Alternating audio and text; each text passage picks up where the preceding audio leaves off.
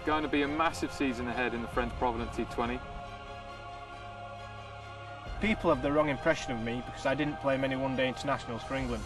Trust me, this old dog's got a few new tricks. I used to have to spot his slow ball. Now it's a case of spotting the fast one. He can't talk to me about speed at the crease. You've seen him turning, he's like the QE2. Uh, Hoggy, there's no point swinging the ball three feet outside of off stump in T20.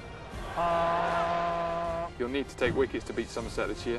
don't worry about me, Trez. I've been down the gym. You know that place where people wear tracksuit, lift weights, do some running, things like that? Pace, speed, zip. He might have caught his finger in one once. Trez is a one-dimensional player. He's got one mode, and that's slog. His idea of team building is a few beers down the pub. Professional sport has moved on. It's all about discipline and nutrition, not beers and pies. Beers and pies? He must be talking about himself. Why do you think his nickname Banger? I'm most likely to hit Matthew Hoggard for six. Pretty much anywhere in the ground. Us bowlers love facing up to Trez or any top order batsman that just throws the kitchen sink at you. Hoggy's no all-rounder when he bats. He can't hardly hit it off the square. But one thing he can do is sweep nicely. Trez making fun of my batting. Have you ever seen him with a ball in his hand?